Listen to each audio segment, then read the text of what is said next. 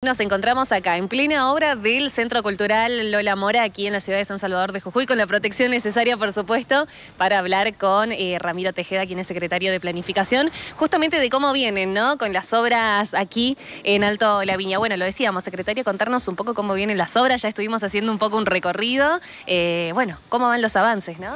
Bueno, primero que nada, muchas gracias por la visita, contentos con, con el avance, con la evolución de la obra. La verdad que, que, cada día que uno viene se sorprende con lo que es la, la calidad del diseño eh, que se va expresando en la obra, el diseño de César Pelli, eh, que bueno, que tiene la misión de resguardar las esculturas, pero también que está poniendo a Jujuy en los primeros planos en lo que es este, arquitectura, arquitectura para la cultura, arquitectura eh, bioclimática, porque hay un montón de conceptos que tienen que ver con hacer a este edificio un, edificio sustentable. Así que bueno, muy bien, estamos por arriba del 70% del avance de obra, ya con muchos de los materiales y los insumos que eran críticos eh, ya disponibles, como por ejemplo el vidrio, que lo hemos podido importar desde Chile, que es un vidrio especial que tiene que ver con las dimensiones que tiene eh, los paños, llegamos hasta 9 metros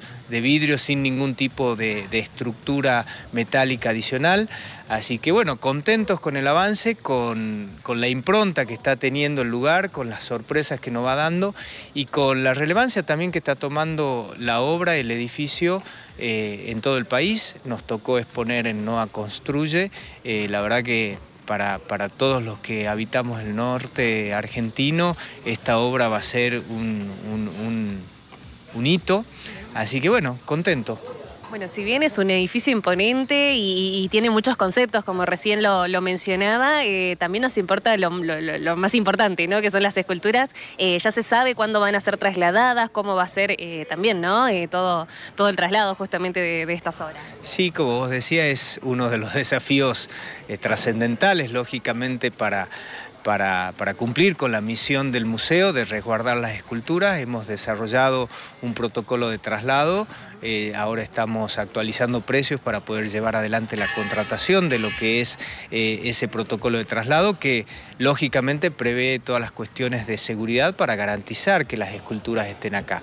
Eso va a suceder entre agosto y septiembre, eh, es la época ideal para poderlos trasladar, no es la época digamos, donde no vamos a tener inconvenientes de lluvia ni inconvenientes del tipo climático, así que, bueno, trabajando fuerte ya en, lo que es la previsión, eh, los lugares en donde se van a descargar las esculturas, cómo van a transitar por acá por el museo, eh, así que nada, con, el plan de trabajo en, pleno funcionamiento y, con muchas expectativas. Ahora, eh, de todos los conceptos que recién hacía mención, ¿cuál es el que más eh, gusta o el que más habría que prestarle atención? Yo creo que todo, todo tiene un mensaje, es eh, increíble cuando nos visitan en la obra eh, las, experiencias que se lleva la gente, porque como te decía, no solo es una obra, sino que hay muchísimos conceptos detrás de ella. yo creo que entender que César Pelli el gran arquitecto argentino, el que más construyó en el mundo, haya querido trabajar en una obra tan particular, de escala, de pequeña escala, en Jujuy, eso es lo que, una de las cosas que más impacta. Y después, bueno, todo lo que ha sido el trabajo de Lola en, Jujuy. Eh, nosotros, yo siempre digo, no tenemos seis esculturas normales, sino que fue eh, Lola la que eh, de las esculturas originales de los dos grupos escultóricos que estaban en el Congreso de la Nación, les dio una nueva identidad en Jujuy, trabajando en Jujuy.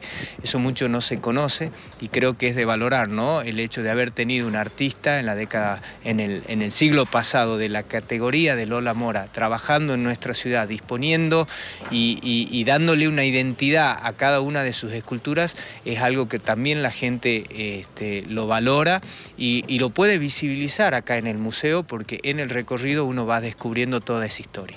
Cortito y para cerrar, ¿qué tenemos de fondo acá? Eh, bueno, justo lo, que tenemos, ¿no? Esta última parte y la parte de atrás sería de, lo que es el centro cultural. ¿Qué tenemos de fondo? Bueno, de fondo tenemos eh, la torre que va a albergar las turbinas eólicas. Son cinco turbinas de eje vertical que hemos diseñado especialmente para este museo que el estudio Peli ha diseñado con los asesores especializados y que va a permitir que el edificio sea un edificio net cero, es decir, que produzca toda la energía que necesita para funcionar.